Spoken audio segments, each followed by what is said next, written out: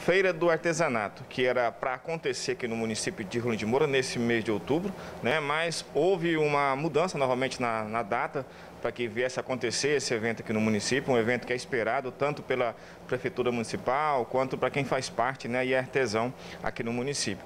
A gente vai conversar com a Kelly Nâmara, que faz parte da Secretaria, da Secretaria de Planejamento, vai falar um pouco mais sobre esse assunto.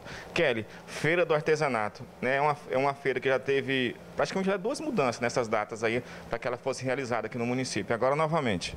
Isso. É, essas mudanças ocorrem por causa do processo. Não conseguiu licitar as tendas é, no tempo hábil, que seria uma, a parte do Estado, mas é por causa do trâmite mesmo do processo que acaba sendo demorado e para que seja é, de forma transparente e correta. Essa mudança que houve agora, é, acredito que vai ser até mais benéfico para o artesão. Será na data da inauguração do Natal de Luz, então a gente já está até antecipando aqui para vocês uma inauguração do Natal de Luz no dia 20 de novembro. Então a feira vai ocorrer dia 20, 21 e 22. Então será um sábado, um domingo, uma segunda-feira que os artesãos terão expostos ali as suas mercadorias e um público muito maior e um momento também, eu acho que mais oportuno para que essa feira seja melhor agraciada pela população e também pela parte econômica, que é muito importante para o município, para o artesão, para o consumidor. Então essa mudança, eu acredito que veio mais a somar do que trazer qualquer tipo de prejuízo.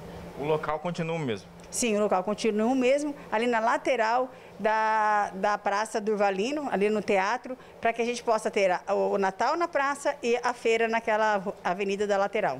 Na verdade vai acabar agregando, mas é mais movimento, porque a praça vai estar decorada, vai chamar mais a atenção de quem passa pelo local. Com certeza, o Natal é uma coisa que todo mundo espera, o prefeito está muito empenhado para que isso aconteça, é, tem nos dado essa missão e nós temos cumprido aí com a missão para fazer junto com o comércio, porque hoje é adote o espaço, já falando do Natal, as empresas adotando espaço, a prefeitura trabalhando junto, também fazendo, adotando espaço, então é um trabalho que vai ser bom para o município, a gente sabe que é uma época que fomenta o nosso comércio, deixa a nossa cidade mais bonita, nós temos mais turistas aqui, a nossa é, Zona da Mata vem para o Rolim de Moura, então esse é o empenho que o prefeito faz para que aconteça e agora a Feira do Artesão junto só vem a somar.